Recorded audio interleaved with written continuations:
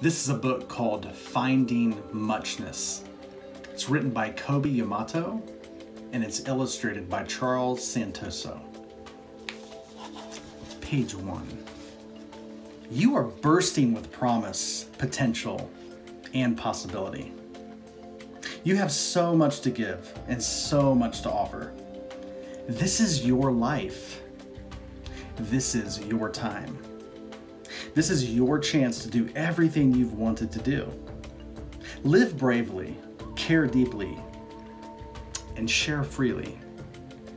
Get the most out of each shining moment. Fill your life with love and stuff your days with wonder. Because when you willingly throw yourself into everything you do, that's when you come alive. That's when the magic sparks.